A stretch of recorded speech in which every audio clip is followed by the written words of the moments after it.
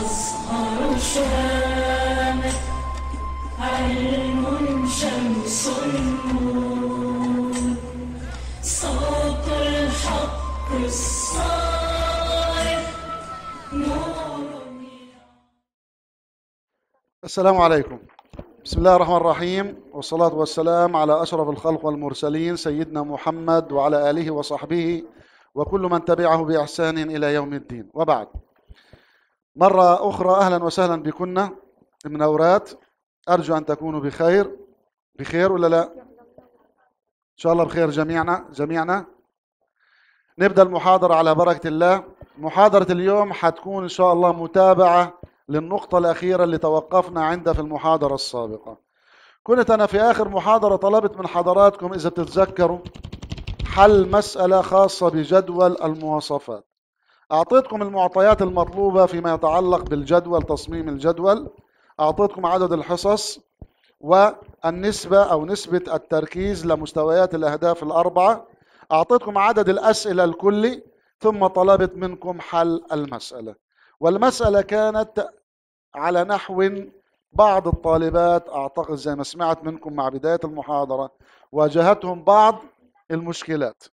بحيث أن الأرقام في داخل الخلايا لم تصل إلى عدد الأسئلة الكلي واللي كان يقدر أعتقد ب 100 سؤال أنا أعطيتكم 100 سؤال لكن بعد ما حليتوا المسألة تبين لكنا أنه العدد قديش 102 الحق على مين؟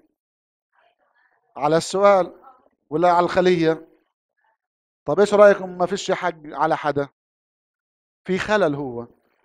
في خلل معين في منطقة معينة.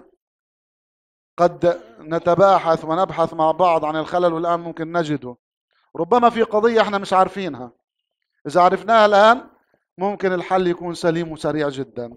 تعالوا نبدأ بالمثال اللي أعطيتكم إياه المثال التدريبي. كان على هذا النحو. زي ما أنتم شايفات أعطيتكم عدد الأسئلة الكل 100 سؤال.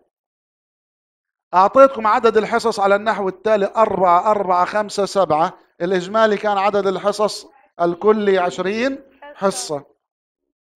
فيما يتعلق بمستويات الأهداف برضو أعطيتكم نسبة التركيز لكل مستوى. 10 في المية 15 في المية 30 في المية 45 في المية. الإجمالي 100 في المية. هكذا البيانات. الآن واستنادا إلى الطريقة اللي أعطيتكم إياها بدنا نحل الجدول وفي البداية كان من المفترض الخطوة الأولى أن نستخرج نسبة التركيز لكل موضوع من الموضوعات لكل موضوع من الموضوعات. فإيش عملنا عادة عشان نطلع نسبة التركيز للموضوع الأول؟ على سبيل المثال هاي الموضوع الأول قديش نسبته في المية حتكون؟ عملنا بشكل بسيط. عدد حصص الموضوع الأول أربعة. على إجمالي عدد الحصص على عشرين ضرب مية. طلع عندي عشرين في المية. الثانية حتطلع اوتوماتيك إيش؟ عشرين. عشرين في المية لأنه نفس عدد الحصص. الثالث خمسة على عشرين ضرب مية. طلع عندي خمسة وعشرين في المية. خمسة وعشرين مع الأربعين. خمسة وستين. قديش آخر واحدة؟ آخر واحدة نسبة التركيز للموضوع الأخير الرابع كانت خمسة وثلاثين في المية.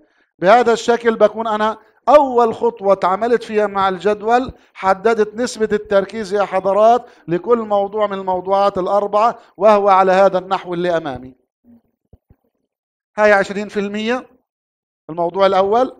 عشرين في المية الموضوع الثاني خمسة وعشرين في المية الثالث خمسة وثلاثين في المية الرابع. خلاص؟ الآن نشوف الخطوة اللي بعدها. إيش عملنا في الخطوة اللي بعدها؟ جينا بشكل بسيط للغاية. الطريقة اللي علمتكم عليها لازم نتبعها. بدنا نستخرج على سبيل المثال تعالوا نشوفها. في الخلية الأولى بدنا نحط الرقم عدد الأسئلة المطلوب وضعه للموضوع الأول واللي بيغطي مستويات الهدف الخاص بالتذكر. يعني كم عدد الأسئلة الخاصة بالموضوع الأول التي تقيس التذكر؟ كيف بدي أطلعها؟ بمسك عدد الأسئلة الكلي اللي هو مية. ضرب عشرين في المية نسبة التركيز للموضوع الأول. ضرب عشرة في المية نسبة التركيز لمستوى الهدف الأول. يساوي بيطلع عندي رقم. الرقم هيو على النحو التالي. اثنين عملنا مع الفهم نفس الطريقة. طلع معايا إيش بدي أسوي؟ حاولي معايا تكوني بشكل سريع عشان نكسب الوقت. 100 ضرب 20% ضرب 15% طلع عندي الرقم 3 100 ضرب 20% ضرب 30% طلع عندي الرقم 6 100 ضرب 20% ضرب 45% طلع عندي الرقم 9 وهكذا فعلت مع جميع الخانات. طلعت الأرقام كما يلي. إليكن هذه المعلومة الخطيرة الآن. أرجو أن تثبتوا المعلومة التي ستسمعوها. هي التي قد تكون عملت الخلل والإرباك عند الطالبات. ركزي معايا. ركزي معايا وانتبهي. الآن بعد ما استخرجت جميع الأرقام واتبعت المعادلة السليمة ضرب عدد الأسئلة الكلي في نسبة التركيز للموضوع المعين ضرب نسبة التركيز لمستوى الهدف المعين وعبيت الخانات المطلوبة. في حالة في حالة كانت نتيجة الضرب ضرب الأرقام مع بعض. مثل هذا الرقم اللي أمامي لما ضربت 100 ضرب 25% ضرب 10% طلع عند الرقم اتنين ونص بالضبط. لما يطلع عند الرقم اتنين فاصلة خمسة بالضبط بخلي الرقم كما هو في الخانة. لما يطلع تلاتة ونص بخليه في الخانة. خمسة ونص بخليه في الخانة. واحد ونص بخليه في الخانة. لما دائما الرقم يطلع شيء ونص لازم أخليه في الخانة نفسها. بينما لو طلع 2.6 2.7 لعند التسعة 2.8 2.9 قلت بشطب الكسر وبجربه لواحد صحيح بصير عندي ثلاثة. هيك اتفقنا. ولو أقل من اتنين ونص بنحذف الكسر. بضل الرقم عندي اثنين. أما في حالة ما يطلع عندي الرقم نص بخليه. هيطلع عندي في الحالة هذه اثنين ونص خليته. خلاص؟ بنمشي. لعند الرقم هذا نشوف إيش اللي صار. امسكنا المية. لاحظي معايا. امسكنا المية. ضربناها في, الم... في نسبة التركيز للموضوع الثالث 25% ضرب نسبة التركيز لمستوى التحليل 30% طلع عندي الرقم سبعة ونص. خليته. خليته كما هو. اتفقنا النص بنخليه خلاص؟ ونفس الشيء عندي طلع بالنسبة للموضوع الرابع. 100 ضرب 35 في المية ضرب 10 في المية. طلع عندي ثلاثة ونص. خليت الرقم. وكذلك بالنسبة للعشرة ونص. لما ضربت 100 ضرب 35 في المية ضرب 30% طلع عندي 10 ونص. إذا لاحظوا علي لاحظوا على الجدول. الأرقام اللي ثبتها اللي فيها النص. خلاص؟ وباقي الأرقام موجودة. نشوف الآن إيش بنسوي. طلعي هنا. هي هذه اللي عملت عنا لبس. دائما لما بيطلع عندي الرقم في نص اتفقنا هاي الرقم اتنين ونص. في أي خلية بيطلع عندي الرقم اتنين فاصلة ستة قلنا بنخليه تلاتة. اتنين فاصلة تمانية بنخليه تلاتة. اتنين فاصلة اتنين بنخليه اتنين. إنما في حالة النص لما يطلع اتنين فاصلة نص دائما وابدا دائما وابدا. النص بنشطبه أول شيء بنكتبه في الخانة. بعد ما نكتبه في الخانة بنشطب عليه وبنقربه لواحد صحيح. بصير إيش عندي؟ ثلاثة. بصير عندي إيش؟ ثلاثة. هاي على سبيل المثال أول خانة أمامي طلع عندي الرقم اثنين ونص. شطبته. وقربته لواحد صحيح صار عندي ثلاثة. طب لنفترض في نفس السطر. بغض النظر الرقم الذي يليه مباشرة أو الذي لا يليه مباشرة. في نفس السطر في إحدى الخانات طلع عندي كمان نص. إيش بسوي؟ اسمع المعادلة وثبتيها في ذهنك. إذا النص الأول جربته لواحد صحيح بدل اتنين ونص صار إيش؟ ثلاثة. فالنص الثاني إيش بسوي فيه؟ بحذفه. بحذفه. فالأول بدل اتنين ونص صار قديش ثلاثة. الثاني بدل سبعة ونص حيصير قديش سبعة. تصوري. ما يلي. أعطيت لحضرتك أنا الآن طلعت من جيبتي. ركزوا معي عشان ما ننساش. الله يرضى عليكم انتبهوا.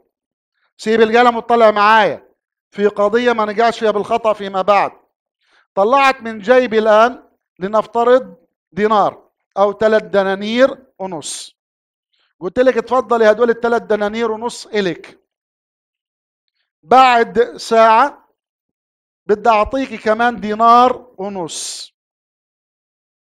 قد صار معاكي خمس دنانير. هيك الحسبة الصح. أنتوا رحتوا حسبتوا عندكم عشان هيك صار اللبس. أنتوا رحتوا حسبتوا الثلاث دنانير ونص.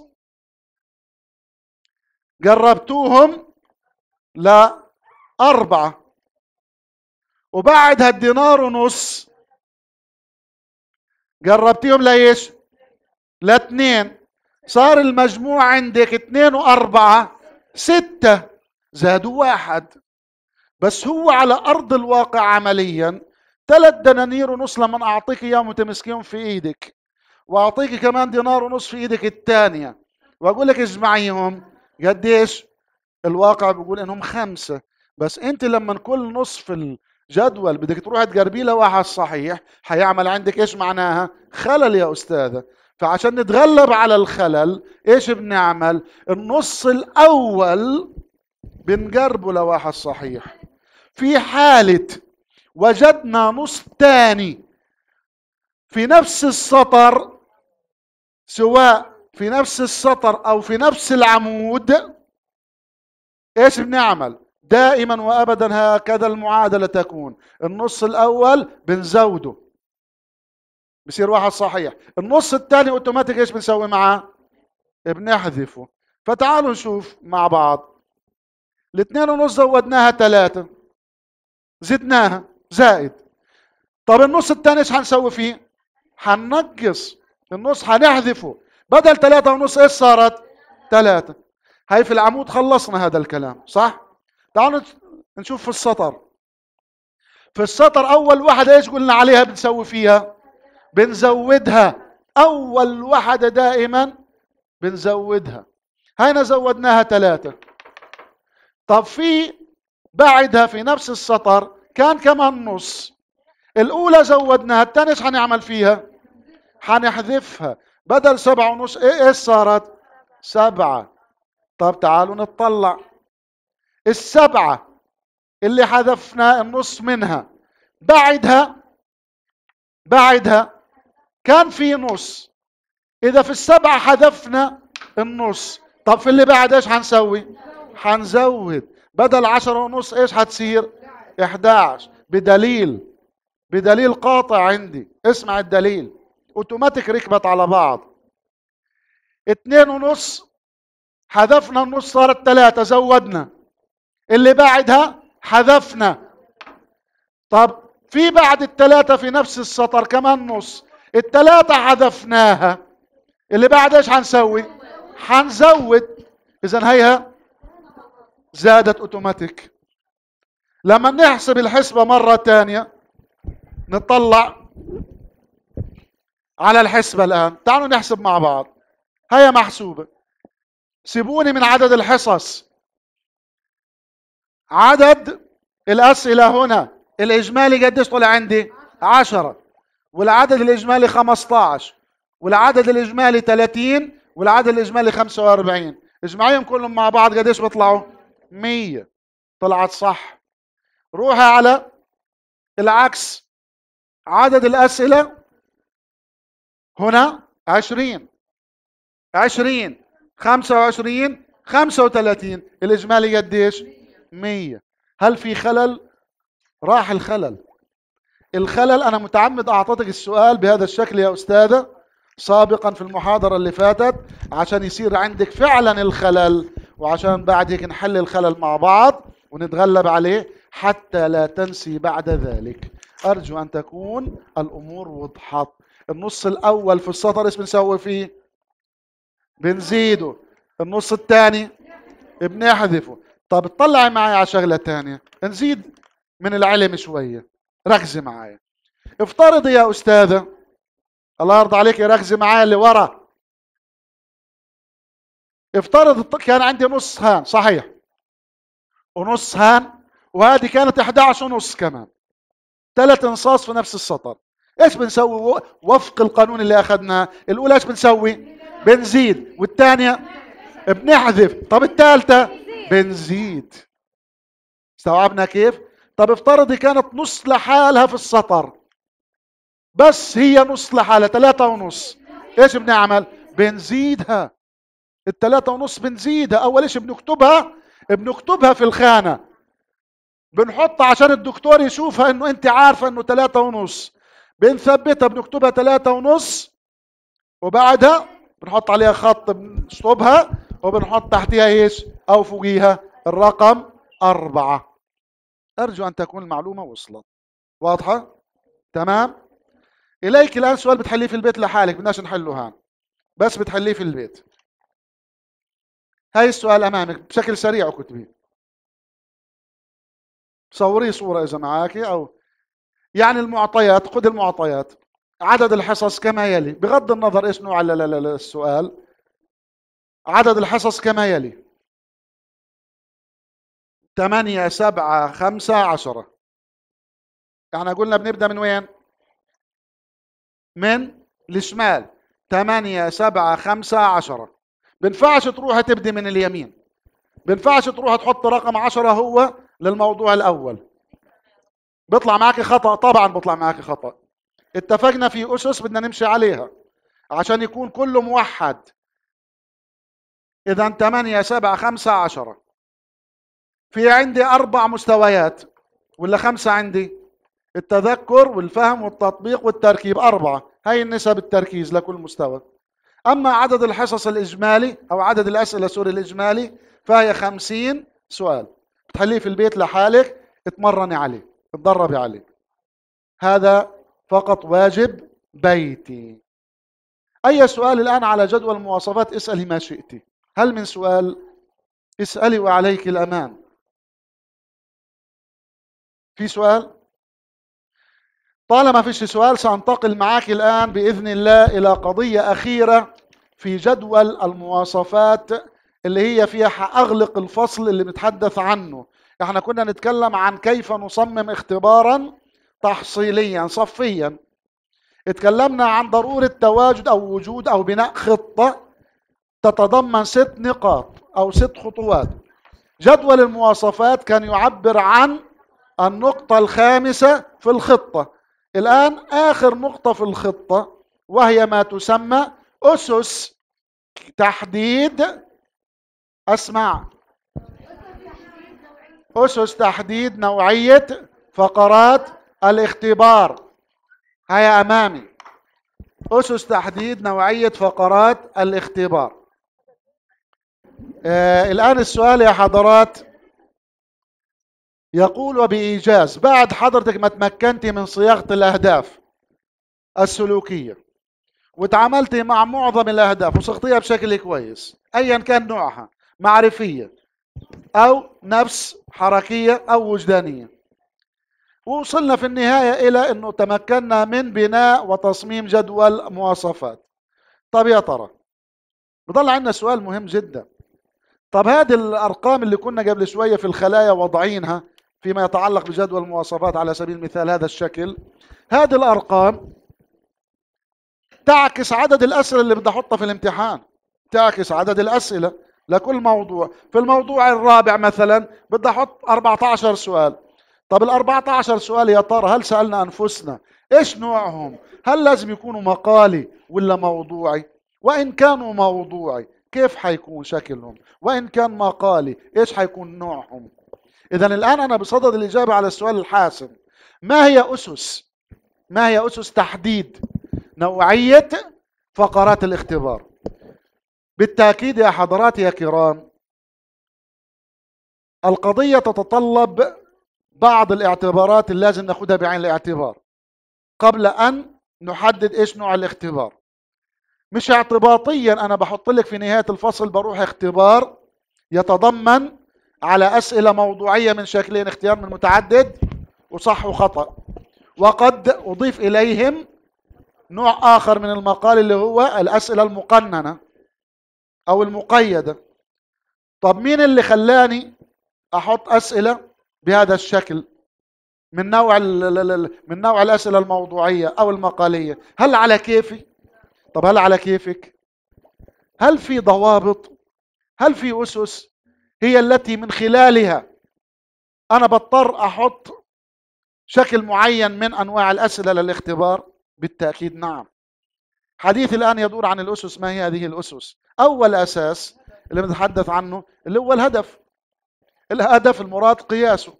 بمعنى آخر يا ترى أنا لما بدي من الطالب لما بدي أحط امتحان للطالب إيش هدفي من الامتحان؟ هل بدي من الطالب أن يصل إلى عمليات عقلية عليا. ينظم ويرتب ويركب أفكاره كما يشاء ويعبر بالطريقة التي يشاءها ويأتي بأمثلة وينتقد ويحكم أم يعني أن يجيب على الأسئلة التالية بشكل سريع عبارة عن تذكر وعبارة عن فهم بعض الموضوعات. والله إذا الهدف اللي أنا عاوز أقيسه هو اللي بيحكمني. لو كنت عاوز أقيس قدرة التلميذ على تنظيم وترتيب أفكاره إذا أنا بصدد أن أضع أسئلة للطالب بتكون على شكل أسئلة مقالية. لأن التنظيم والترتيب معنى ذلك الطالب هو اللي حيفكر ويكتب وينظم ويرتب كما يشاء والعكس صحيح. لن أطيل في كل جزئية. أما الأساس الثاني طبيعة المحتوى اللي إحنا بدنا نحط فيه امتحان. بمعنى آخر طبيعة المحتوى المراد قياسه إيش أنا قاعد علمت التلميذ؟ هل علمت التلميذ عربي ولا دين ولا تاريخ ولا علوم ولا رياضيات؟ بالله عليك هل مقرر الرياضيات والعلوم زي مقرر التاريخ؟ من حد ما أنا أقول لك أنا بدي أدرسك مادة التاريخ بتعتقدي في نهاية الفصل أو الامتحان النصفي إيش نوع الأسئلة اللي حجيب لك إياها؟ مقالية. مقالية. هيك من المقرر هو المقرر لحاله اللي بيحكي. هو اللي بحدد اتجاهي. بينما لو كانت المادة علوم رياضيات أو ما شابه أقرب إلى إيش؟ الموضوعية يا حضرات. أما رقم ثلاثة فهي تتعلق بمهارة المعلم في كتابة وصياغة الأنواع المختلفة من الفقرات. معنى ذلك والله لو المعلم لو حضرتك مستقبلا حيكون عندك خبرة. وإمكانات وقدرات لغوية على صياغة وكتابة أسئلة الاختبار فلا بأس أن تكتبي الامتحان ويأتي على شكل موضوعي. بس لو ما عندكيش القدرات والإمكانات واللغة والمفردات المعبرة بشكل دقيق معنى ذلك اذهبي إلى نوع الأسئلة المقالية فهي أسهل في الإعداد. إذا من هي الأصعب في الإعداد الأسئلة المقالية ولا الموضوعية؟ الموضوعية لكن الأسهل في التصحيح موضوعية. الموضوعية. عرفنا الفرق؟ أما رقم أربعة مستوى الدقة في التعبير عن واقع التحصيل. إن أردنا بمعنى أو بآخر أنه نعبر عن مستوى صياغة الاختبار. إذا أردنا أن يخرج مستوى صياغة الاختبار بشكل دقيق فعليك أن تكتبي اختبارا موضوعيا. أما لو كنت تريدين الصياغة تكون أقل دقة فاذهبي. ممكن تذهبي إلى موضوع لكن بشكل آخر. الموضوع اختيار من متعدد يتطلب دقة متناهية عالية. طب الصواب والخطأ في الموضوع. يتطلب دقة ولكن دقة أقل. طب مين اللي بتطلب دقة أعلى الموضوعي ولا المقالي موضوعي الموضوعي إذا حسب أنت والله ما بنقول مستوى الدقة في التعبير عن واقع آه، الأسئلة أو واقع التحصيل اللي بدك إياه من التلميذ كمان. إذا مرة أخرى ممكن أنا أعيد مستوى الدقة في التعبير عن واقع التحصيل. إذا أردت أن أصل إلى نتائج أكثر دقة أنا كمدرس فعلي أن أضع أسئلة موضوعية والعكس صحيح. أما رقم خمسة الوقت المخصص. الوقت المطلوب لتحضير فقرات الاختبار. كم معايا وقت؟ أنا كمعلم هل سألت نفسك؟ هل أنت يا أستاذة تملكين من الوقت كثيرا أو وقت طويل أمامك؟ معك أسبوع وأسبوعين لإعداد الامتحان؟ والله كل ما كان أمامك وقت طويل فأنا أنصح بأن تعد امتحانا موضوعي. وإن كان الوقت قليل فاذهبي إلى ناحية المقالي فقط. لأنه ما عندك وقت. المقالي وأنا قاعد في ربع ساعة في نص ساعة بمسك الفهرس تاع الكتاب وبطلع على العناوين الرئيسة وبضع امتحان. الموضوعي لا. الموضوعي يجب أن تتبحري في صفحات وموضوعات المقرر الموضوعات الرئيسة والفرعية وما شابه. أما رقم ستة مدى توافر الإمكانات المادية والقرطاسية وتسهيلات الطباعة؟ يا سلام. شو علاقة الإمكانات المادية والقرطاسية وتسهيلات الطباعة؟ إلى علاقة بتحديد نوع الاختبار يكون مقالي ولا موضوعي؟ فكر شوية معايا. إلى علاقة؟ سمعوني صوتكم. آه ولا لا؟ آه. طب كيف؟ بتقولوا آه وخلص سكتنا؟ لا بنفعش تكلميني وأكلمك على الهواء في شيء اختراع جديد سموه مايك عشان إرسال واستقبال. الاختبار الموضوعي بده ورق أكتر لطباعة لأنه هيكون حجمه كبير. أما الأسئلة المقالية بتكون تاخد حجم قليل في الأسئلة. يا عيني عليك. بارك الله فيك. كلامك رائع وسليم. بس أنا خليني أكمل السؤال إليك. الآن في شدة الحصار لقطاع غزة في وقت من الأوقات.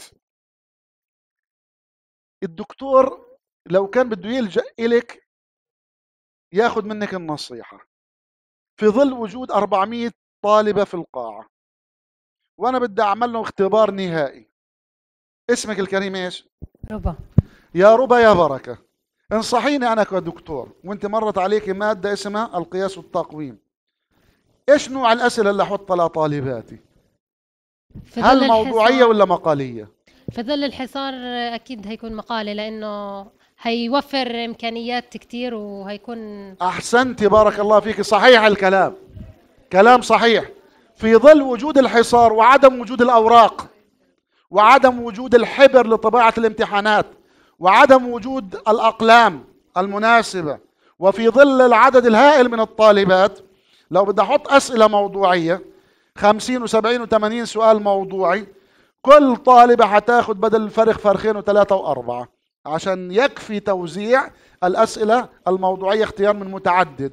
بينما المقالي بينما المقالي ممكن أحط أسئلة مقالية مقننة مقيدة وبالتالي لا تتطلب ورق كثير. إذا الظرف له علاقة الإمكانات المادية وتوافر القرطاسية فعلا لها علاقة في الموضوع هي اللي بتساعدني في تحديد هل يكون الامتحان فعلا مقالي أو موضوعي. وكذلك في شغلة مهمة جدا أرجو ألا تنسوها اللي هي شمولية الأسئلة لجميع محتوى وأهداف المادة الدراسية. والله لو حضرتك بدك تغطي كل المقرر اللي عندك جميع الموضوعات اللي درستيها بما يغطي كذلك مستويات الأهداف اللي أعطيتيها. وين بتروح عن اتجاه الموضوع ولا المقالي الموضوعي من المتعارف عليه أيتها الطالبات المحترمات أرجو ألا تنسوا. الأسئلة الموضوعية هي التي هي القادرة على أن تغطي وتشمل جميع موضوعات المقرر في حين أن الأسئلة المقالية لا تستطيع أن تغطي جميع الأسئلة. هذا هو الفرق. فأنا إيش بدي؟ هل بدي أوجه أسئلة عن جميع اللي درسته الموضوعات ولا ما بدي أغطي المقرر؟ برضو هذا له علاقة. تنسوش في شغلة تانية وإن لم أكتبها أمامكم. حتى لو ما كتبتهاش أمامك. الأسس عديدة يا أستاذة وكثيرة. أنا اختزلت واختصرت بمجموعة فقط بسيطة. ولكن علينا أن يعني نفكر بهذه الأسس. بالله عليك لو كانت الفئة اللي أنا بدي امتحنها صغيرة في السن.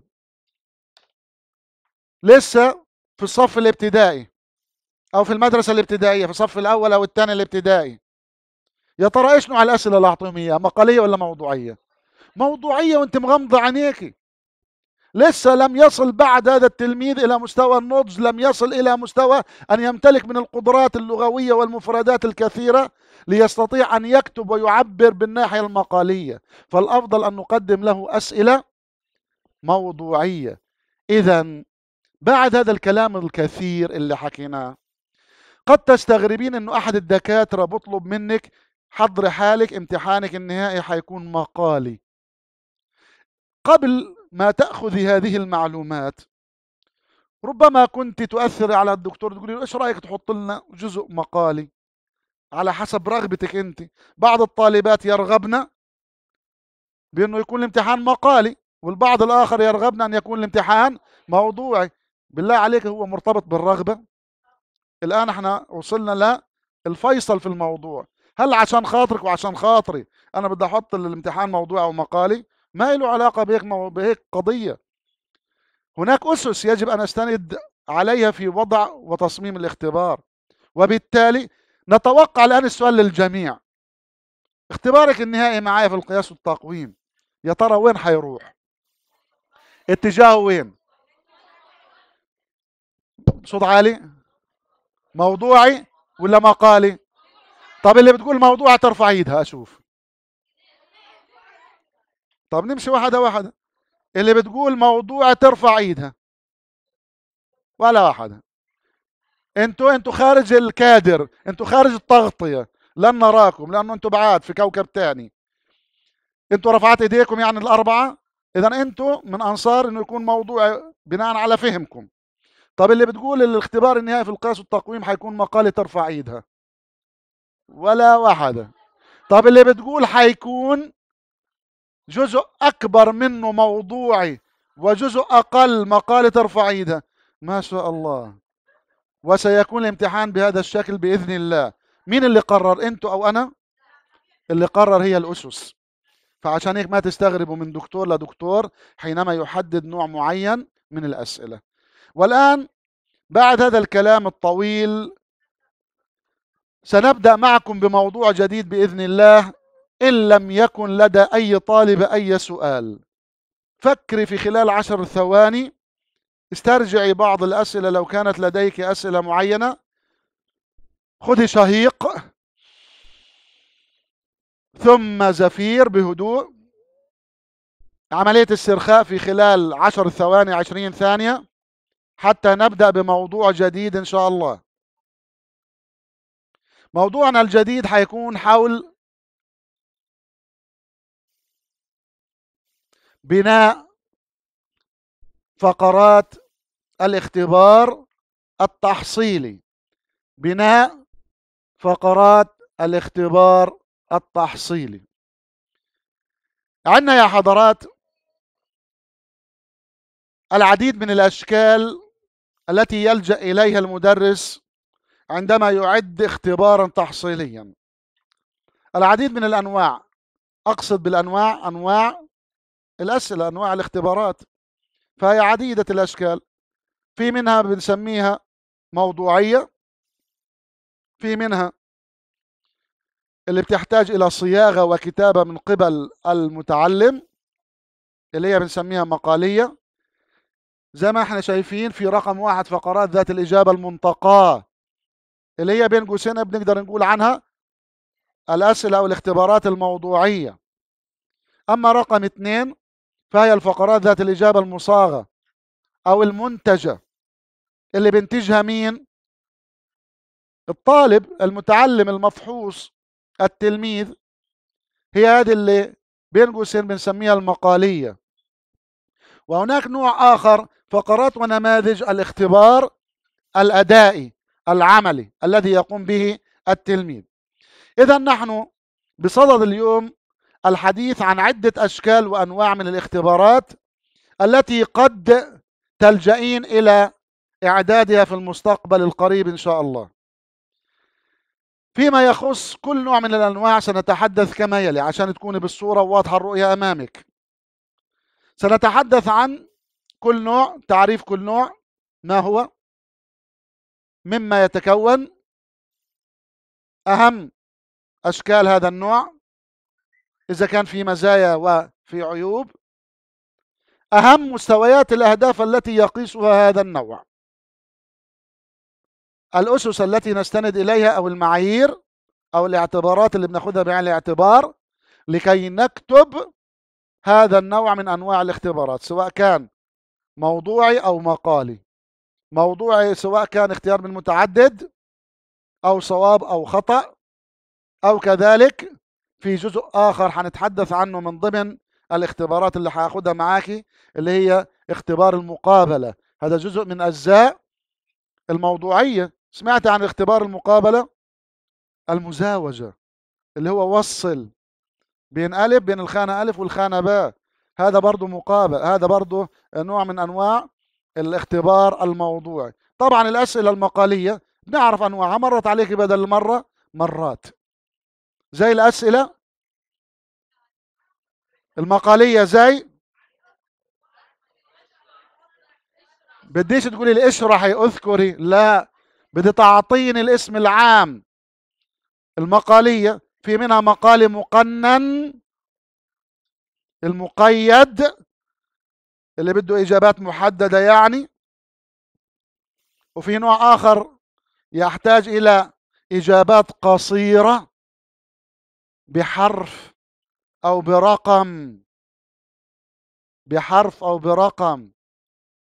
وفي أسئلة مقالية برضو اللي بنسميها مطولة المفتوحة المقالية المطولة اكتب كما تشاء. أما النمط الثالث من الأسئلة اللي هي الأدائية. الآن حنبدأ بأول نوع مع بعض إن شاء الله وهو ما أسميه وهو ما يسمى الأسئلة الموضوعية. بمعنى حأبدأ بالنوع الأول الاختيار من متعدد. سأتعرف الآن معكم إلى هذا النوع ماذا نقصد به مما يتكون وما هي أهم أشكاله. لنبدأ بكل بساطة. فقرات الاختيار من متعدد أنت عندك خبرة أكثر مني فيها. مرت عليك بدل المرة مرات بدل عشرات المرات مئات المرات. اللي عادة أنت بتعرفيها في عبارة عن قبل ما أصنف لك إياه وأحدد لك أشكالها وأسمائها بشكل علمي بتتكون من عادة من جزئين واحد علوي بكتب المدرس واحد وبحط في الآخر نقطتين ممكن أو بحط علامة استفهام وبحط بحطها ألف باء جيم دال. اختاري هذه الكلمة أو هذه أو هذه أو هذه. بعد ما تقرأي السؤال. إذا الاختيار من متعدد عادة يتكون من جزئين جزء علوي وجزء سفلي. الجزء العلوي هو التي فيها يعكس المدرس المشكلة. بمعنى الطالب بصدد التعامل مع سؤال أو مشكلة في الجزء العلوي ويختار الحل المناسب لهذه المشكلة من الجزء السفلي اللي فيه عبارة عن الإجابة الصحيحة. في أربع بدائل وتتضمن البدائل إجابة صحيحة واحدة. لكن الآن سنسمي الأشياء بمسمياتها. الشق العلوي له اسم. يطلق عليه اسم الأصل الأصل أو المقدمة الأصل أو المقدمة. بعض التربويين يطلقون عليه اسم آخر لن تجدونه عندكم وهو ما يسمى الأرومة. الأرومة. إذا هي اسم آخر الأرومة المقدمة الأصل. تصور أجيب لك في الامتحان أقول لك جميع جميع ما يلي يعبرون عن الجزء العلوي في سؤال اختيار من متعدد عدا واحدة. وراح أحط لك الأرومة والأصل والمقدمة. وأضيف لك واحدة من عندي. فأنت لو ما انتبهتيش في المحاضرة وما حفظتيش المسميات مش هتعرف تجاوبي على الإجابة السليمة. أما الجزء السفلي فهو الذي يتكون من مجموعة من البدائل. إيش سميتها؟ البدائل. في العادة المتبعة معكم في الجامعة عادة يكون عددها أربع بدائل لكن هذا ليس شرطا أن تكون من أربعة بدائل. لكن التربويين بفضل أن يكون العدد أربعة. أنا هنا بقول يفضل أن يكون العدد وفقا لرؤية التربويين أربع بدائل أربعة بدائل. لكن لو كانوا ثلاثة صح ولا خطأ؟ صح. طب لو كانوا ستة؟ برضو صح. لو كانوا سبعة؟ برضو صح. طب وين يعني أحط أنا سبع بدائل للتلميذ والطالب؟ يعني بالله عليك يقرأ البديل الأول والثاني. لما يصل للسابع بيكون نسي الموضوع أو المشكلة عن إيش. فبالتالي لا داعي للسبعة.